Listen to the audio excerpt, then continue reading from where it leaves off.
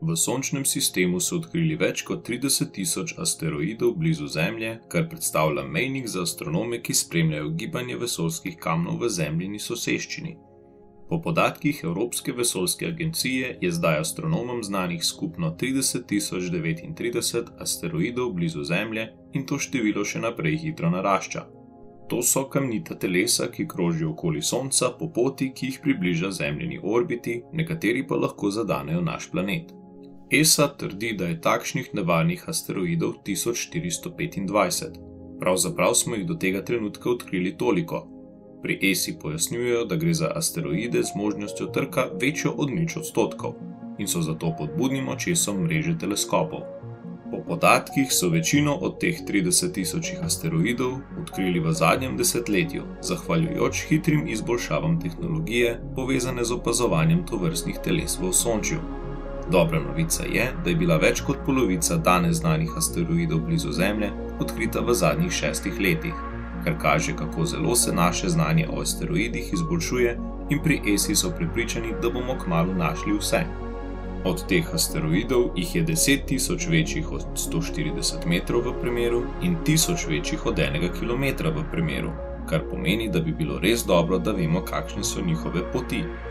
Ne smemo pozabiti, asteroid, ki je z obličja Zemlje izbrisal dinozaure, je povzročil pošasten tsunami, ki je bil kar 4,5 km visok.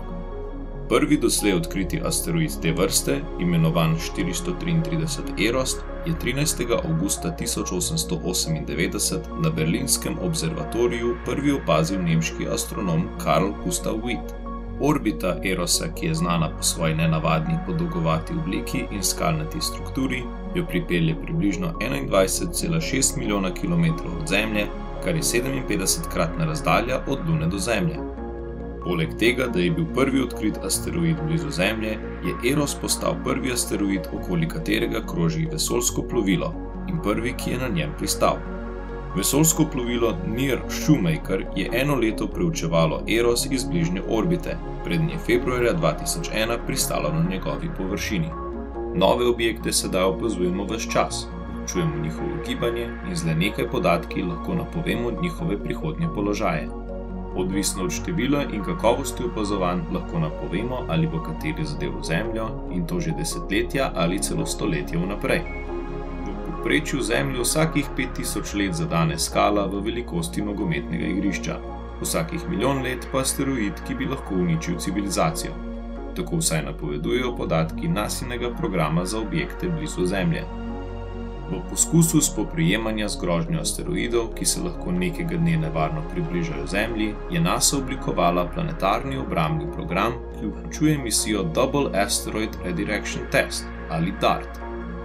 DART je bil izstreljen iz Kalifornije novembra lani in končno končal svoje desetmesečno potovanje ko je prejšnji mesec zadev asteroid Dimorphos in mu spremenil orbito.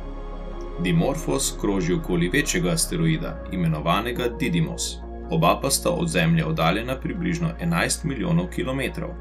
Dart je zadev manjšega od obeh asteroidov s hitrostjo nad 22 tisoč km/h.